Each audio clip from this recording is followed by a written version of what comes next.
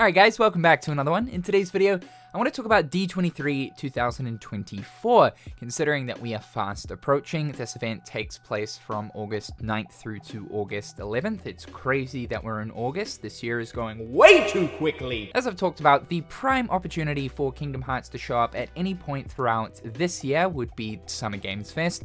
And gone, unfortunately nothing happened. D23 in August, Tokyo Game Show comes September, and the Game Awards come December. So over the next two and a half months-ish, we've got at least two prime opportunities for Kingdom Hearts to show up in some shape or form, whether it be KH4 or Missing Link hopefully. Especially Missing Link, it's really strange that we haven't heard anything. The information on the official websites has been just on, like, uh, coming soon, pre-registration information is, is around the corner, but it's still missing. So I expect at least something to happen with Missing Link over the next two months. D23 is the big Disney event that happens every two years over in Anaheim, California. It's where Disney like to reveal a lot of new stuff to do with their movies, their series, with Marvel. There were three pretty big reveals for Kingdom Hearts 3 at D23 in 2013. We got the very first gameplay trailer at the Japan D23. In August of 2015 at the American D23, we got the announcement that Big Hero 6 would be a world. And in 2018 at the Japan D23, we got the Monsters Inc. trailer. And I have no idea how I forgot this, but four trailers, not three, in the year before in 2017, we of course got the D23 Toy Story reveal trailer. So because of these Kingdom Hearts happenings at this event, Kingdom Hearts fans always tend to pay close attention whenever this event rolls around. And this year is no exception, especially when we've been two years without any word on Kingdom Hearts 4. Square Enix pipeline, for the most part, is clear. Kingdom Hearts 4 should at least be the next major AAA title from the company. One thing that I do want to mention about D23, while it's not directly related to Kingdom Hearts, I do find it maybe a little bit suspicious. I don't want to start hyping people up, but like I find it just uncanny. Disney revealed some pins that will be on sale at this event. A whole collection. These are them right here. This is the World Series pins. Do these look a little bit familiar to you? Now what you should know is this is not Kingdom Hearts merch. This is official Disney merch, but it's got nothing to do with Kingdom Hearts. Clearly though, these pins are taking mass inspiration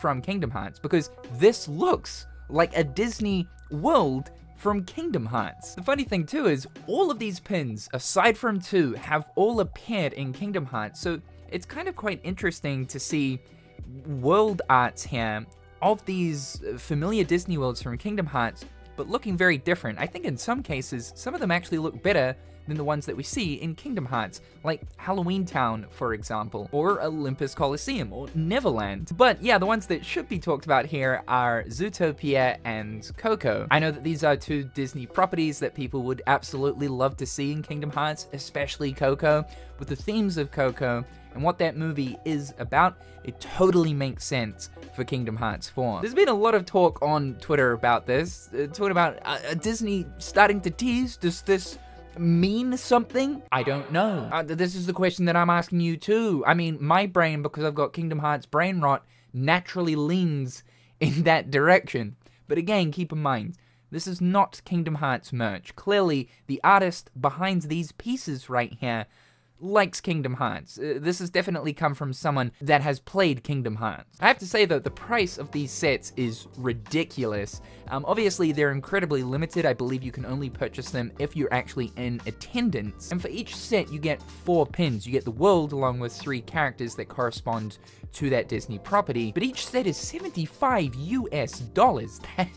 for three pieces of metal? Now, the official D23 schedule has been released, and of course, I have hawked over it to see if there's literally anything that could potentially point towards something to do with Kingdom Hearts happening over the three days. The only thing that's on the schedule that is in relation to video games is the Epic Mickey Rebrushed panel, which is happening on Friday, August 9th from 12.15 to 1.15. There is also going to be a playable demo of Epic Mickey Rebrushed at the event for attendees to try out. By the way, I, I have to say, I'm excited for this. We've been waiting a long time for Epic Mickey to get a remaster or to come back in some way, and it finally is. It was stuck on the Nintendo Wii, so to know that it's coming to all systems is great. I never ended up experiencing it, so this is actually one of my most anticipated games of 2024.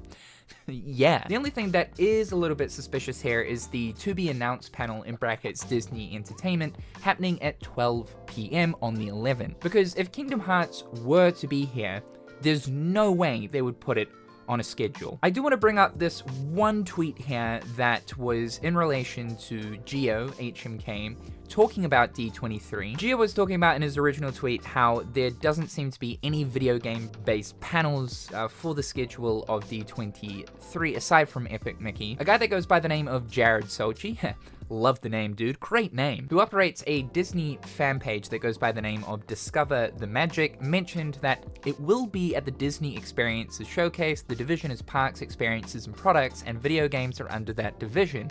And the head of the division said games will be showcased and featured at this presentation Saturday night. By the way, when Jared is mentioning it will be at the Disney Experiences Showcase, the it will be part I think is in reference to just video games in general, not Kingdom Hearts, so let's not get that confused. And this adds up, there was a Q&A that was held by the Walt Disney Company with Michael Vargo, the vice president of D23 in March of this year, where he mentioned fans will get to hear a lot about the theme parks, cruise ships, and resorts around the world, and gaming will also be a big part of it. Josh D'Amaro always gives a great look into everything that's in the works for Disney experiences, and this year will be no different. The Disney Experiences Showcase is happening on Saturday night at 7 p.m. So if Kingdom Hearts is going to show up at D23, this is the prime spot where it will happen. However though, Kingdom Hearts stuff generally comes out of literally nowhere, and it has been a little while since something substantial for Kingdom Hearts has happened. If we're not really including the big Steam release, that's cool and all, but I'm talking about new, new, new.